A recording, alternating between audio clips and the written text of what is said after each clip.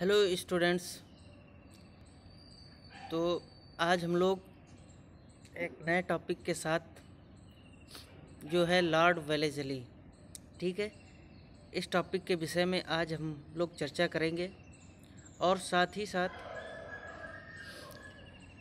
थोड़ा सा पहले हम लोग बैकग्राउंड को जानने का प्रयास करेंगे, ठीक है?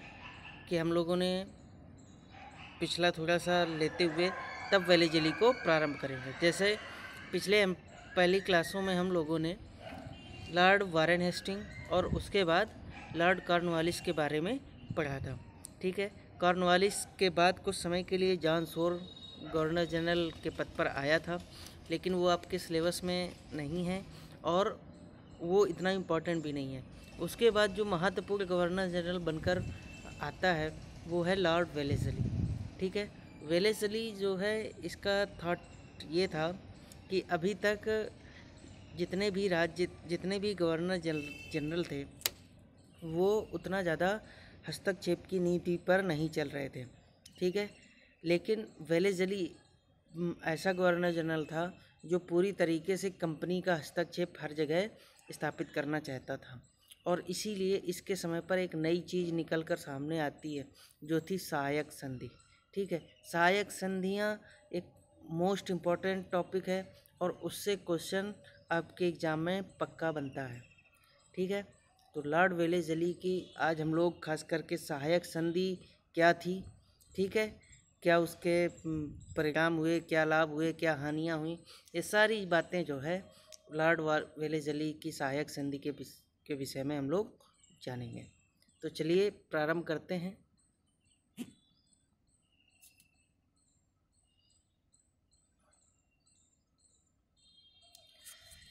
सबसे पहले बात करते हैं वही तो पहला गवर्नर जनरल सत्रह सौ तिहत्तर से पचासी तक बनता है। फिर इसके बाद, ठीक है, और भारत में अंग्रेज़ी राज को अधिक मज़बूत बनाने के लिए दो गवर्नर जनरल ने और भी काम किया, ठीक है, जैसे कि कार्नवालिस मैंने बता चुका हूँ, और जानसोर लेकिन उसके बाद सत्रह में लॉर्ड वेलेजली गवर्नर जनरल बनकर भारत आया। जिसने सबसे पहले भारत में अंग्रेज़ी साम्राज्य को मज़बूत बनाने का काम किया था, ठीक है? और वो किस तरीके से किया था? सहायक संधियों का निर्माण करके। अभी हम लोग आगे सहायक संधियों के बारे में जानेंगे। लॉर्ड वेलेजली अपने से पहले गवर्नर जनरल की आलोचना करता था। लॉर्ड वेलेजली के अनुसार यदि पहले के गवर्नर जनरल काम करते तो आज सारे भारत पर अंग्रेज़ों का कब्जा होता। इस प्रकार का वेलेजली का कथन था। वह भारत में अंग्रेज़ी राज्य को मज़बूत करने के लिए उसने कई सारे कदम उठाए। इसका कार्यकाल सत्रह से 1805 तक था। वेलेजली भारत की गतिविधियों में रुचि रुचि जो है, लेने लग जाता था। वह हर कार में, हर बार कंपनी को ऊपर रखता था। ठीक है?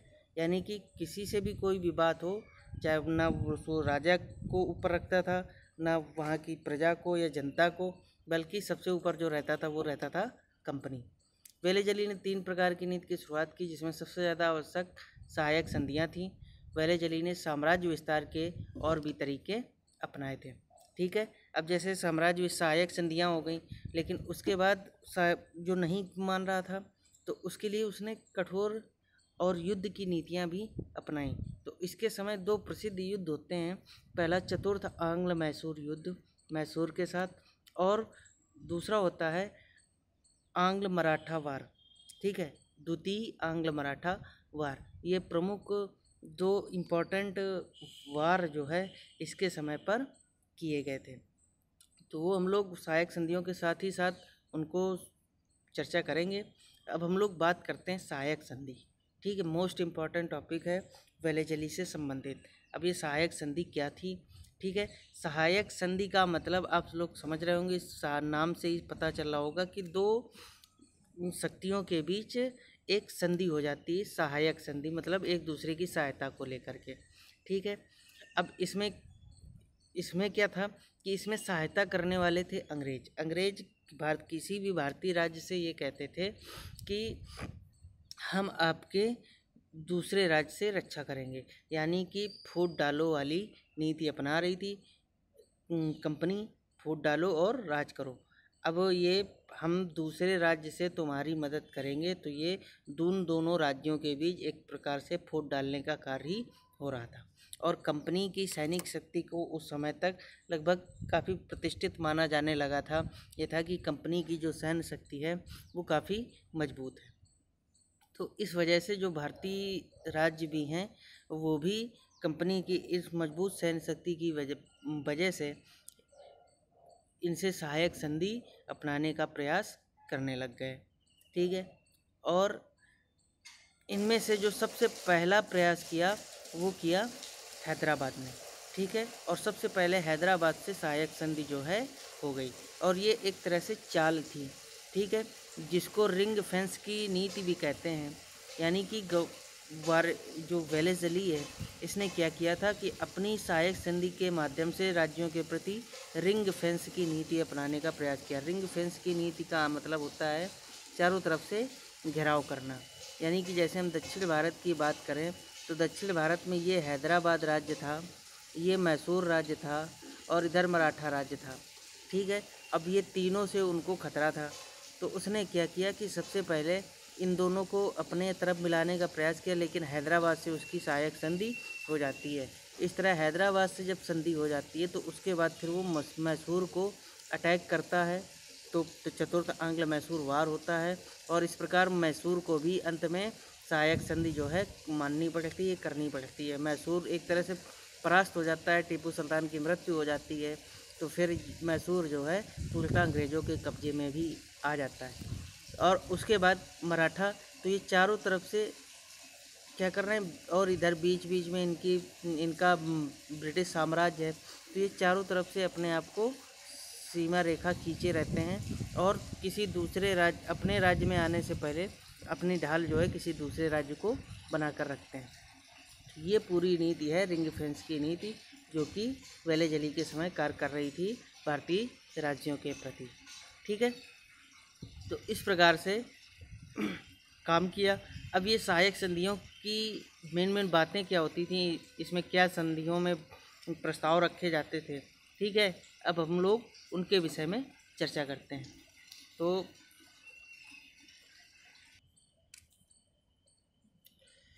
तो इसमें जो सबसे पहला पॉइंट है, वो है सहायक संधि को स्वीकार करने वाला राज्य का जो विदेश नीति है उसके सारे अधिकार किसके पास हो जाएँगे?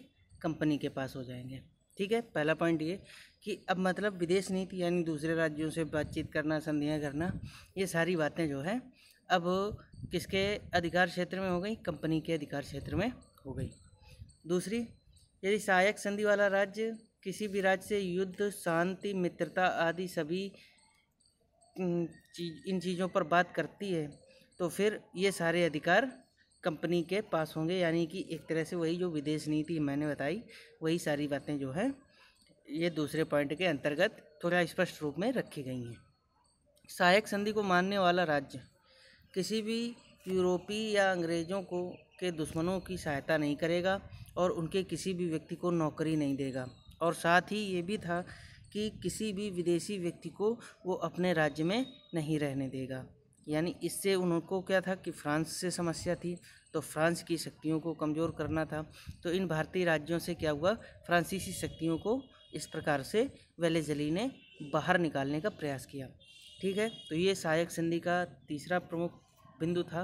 अब नेक्स्ट है कि संधि को स्वीकार करने वाली रियासत कंपनी की एक सेना रखेगा। ठीक है यानी कि उस राज्य में कंपनी की एक सेना रहेगी और जिसका खर्च जो है वो वो राज्य ही सहन, वहन करेगा। ठीक है? और उसी सेना के बदले जो है, क्या होता था कि उनकी रक्षा की जाएगी। लेकिन इससे पहले भी अंग्रेज़ों की नीति इस प्रकार की थी, लेकिन वो सेना जो है उन राज्यों में नहीं रखते थे। अपने अपनी टेरिटोरी में रखते थे, अपने ब्रिटिश भारत के क्षेत्र में रखते थे और जब उनको, राज्यों को ज़रूरत होती थी, तब उनको सेना देते थे और तब उसके बदले में पैसा लेते थे। लेकिन अब रखने की बात हो गई तो वो तो आल टाइम वहीं रहेंगे तो हर समय उनका खर्चा जो है लगेगा और वो सारा खर्चा जो है इस तरह से वेले जली ने भारतीय राज्यों से निकालने का कार्य किया और इसकी वजह से कंपनी की जो अर्थव्यवस्था है, वो उसमें भी काफ़ी मज़बूत मजबूती आई और जो सैनिक हैं, वो भी उसके बने रहे। दूसरी बात, यदि कोई खर्चा देने में रास, असमर्थ है तो जित, उसी, उसको अपने जिसका उसका जितना राज्य क्षेत्र है, उसमें से कुछ क्षेत्र जो है कंपनी को देना पड़ेगा। यानी कि जितना खर्चा आ रहा है, उसी के अनुमान के आधार पर उतना क्षेत्र जो है अपने राज्य का, कंपनी के साथ राज्य को देना पड़ेगा। यानी वो एक तरह से ब्रिटिश भारत का अंग बना लिया जाएगा उतना क्षेत्र। ठीक है? इसके साथ साथ सहायक संधि को स्वीकार करने वाला राज्य के दरबार में एक अंग्रेज़ रेजिडेंट रखेगा। और कहा गया ये कि ये जो रेजिडेंट है, ये क्या करेगा कि ब्रिटिश भारत ब्रिटिश कंपनी और राज्य के बीच जो है, बातचीत के बातचीत के लिए कार्य करेगा, मध्यस्थता का कार्य करेगा, बातों को सूचना देने का कार्य करेगा, ये कहा गया। लेकिन, और ये भी कहा गया था कि आंतरिक मामलों में कोई हस्तक्षेप नहीं करेगा, लेकिन ऐसा था नहीं। ये अंग्रेज़ रेजिडेंट जो है, राज्यों की आंतरिक नीति में पूर्णतः हस्तक्षेप करता था पूर्णतः निगरानी रखता था और जो नीति अंग्रेज़ों के खिलाफ हो सकती थी, जिससे अंग्रेज़ों का फ़ायदा या फ़ायदा नहीं हो सकता था, उस तरह की नीतियों में ये अंग्रेज़ रेजिडेंट जो है, हस्तक्षेप करना प्रारंभ कर देता था। तो इस प्रकार से राज्य के आंतरिक मामलों में भी अंग्रेज़ों की एक तरह से, क्या, एक तरह से जो शक्ति है, वो बढ़ती चली गई, सूचनाएँ प्राप्त होने लग गईं। नेक्स्ट था, संधि को स्वीकार करने वाली रियासत की सुरक्षा कंपनी करती थी, यानी कि इतना सब लेने के बाद। कंपनी का, कंपनी को क्या करना था कि वो केवल सुरक्षा की गारंटी लेगी। ठीक है, अब कहे की सुरक्षा, आप खुद सोच कर देखिए कि अब खुद कंपनी ने ही उसको एक तरह से हड़प लिया तो फिर अब क्या सुरक्षा की बात है? ये सिर्फ़ दिखावा के लिए है। एक उस समय राजाओं का जो माइंड है, वो इस तरह से कर दिया गया फूट डालो, राज करो। सीधा सा सिद्धांत यहाँ पर फॉलो होता है। यानी कि दूसरे राज्यों के खिलाफ इतना भड़का के रखा है कि वो वो आपस में दुश्मन मान रहे हैं एक दूसरे को और अंग्रेज़ों को अपना मित्र मान रहे हैं। ठीक है? और ये नहीं देख रहे कि अंग्रेज़ किस तरीके से सहायक संधि के माध्यम से हम पर कब्जा कर ले रहे हैं। तो यानी कि फोर्ट डालो, राज करो की जो नीति थी, उसको सदसा फॉलो किया अंग्रेज़ों ने और भारत में जो कि बहुत आसान चीज़ होती है, वोट डालो, राज करो और इसका फ़ायदा भी मिला अंग्रेज़ों को। और इसी वजह से बाद में तभी महात्मा गांधी जी ने एक बार कहा था कि भारतीयों ने, भारतीयों को गुलाम बनाया नहीं गया है, बल्कि भारतीय खुद गुलाम बने हैं। उन्होंने खुद अंग्रेज़ों को अपनी शासन सत्ता सौंप दी है, ठीक है? और जब आप कभी विचार करेंगे इस विषय पर तो आपको भी यही लगेगा कि भारतीयों के द्वारा ही अंग्रेज़ों को शासन सत्ता सौंप दी गई। वरना आप बताइए, कुछ चंद व्यापारी आए थे, ठीक है, उन्होंने अपनी बुद्धिमत्ता का प्रयोग किया और भारत पर कब्जा कर लिया। लेकिन वहीं भारतीय अगर अपनी एकता का परिचय देते केवल तो शायद गुलामत नहीं आ पाती। खैर नेक्स्ट है। कंपनी और शासक के बीच झगड़े होने पर गवर्नर जनरल से बात करके झगड़े को निपटाया जाएगा। यानी कि अब न्यायाधीश भी कौन हो गया? गवर्नर जनरल हो गया। और न्यायाधीश गवर्नर जनरल होने का मतलब ये था कि सर्वोच्च सत्ता जो है अब किसके पास आ गई? गवर्नर जनरल के पास आ गई। ठीक है?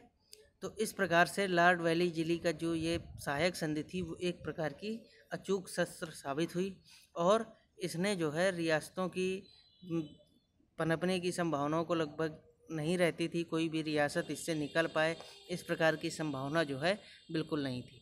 अब राज्य जो है पूर्णतः जो है वेली जली, या कहें कि अंग्रेज़ों के बिल्कुल अंग्रेज़ों पर बिल्कुल निर्भर हो गए थे। अब सारी जो मनमानी है वो धीरे धीरे अंग्रेज़ों की बढ़ने लगती है। और वहीं जब हम लाल डलहौजी तक जाएँगे तो डलहौजी के समय तो सीधा हड़प नीति हो गई, पूरे राज्य ही हड़प कर लिए गए। ठीक है? अभी तो सहायक संधि है मतलब कुछ आंतरिक कुछ आंतरिक अधिकार हैं, ठीक है, राजा है, लेकिन उसके बाद तो डलहौजी के समय तो पूरा हड़प हो जाता है, वो ब्रिटिश भारत का हिस्सा बना लिया जाता है और इसी वजह से अठारह सौ सत्तावन का महान विद्रोह जो है हमको देखने को प्राप्त होता है। तो अठारह सौ सत्तावन के महान विद्रोह होने में, होने के एक कारणों में आधुनिक इतिहासकार लॉर्ड वेले जली की सहायक संधियों को भी एक प्रमुख कारण जो है मानते हैं। तो ये थी सहायक संधियाँ जो कि प्रमुख बिंदु जो कि उसके अंतर्गत रखे गए थे। ठीक है तो ये सारे पॉइंट आप लोगों को पता होने चाहिए, तभी आप लोग सहायक संधि को समझ पाएँगे। ठीक है, नेक्स्ट हम लोग क्या करते हैं कि अब आज की क्लास यहीं पर रखते हैं। इसके आगे अगली क्लास में हम लोग कौन कौन से राज्य ने किस प्रकार से संधियाँ की, ठीक है? और उसके फिर लाभ और हानि क्या रहे, वो सब हम लोग अगली क्लास में देखेंगे। तो चलिए, थैंक यू।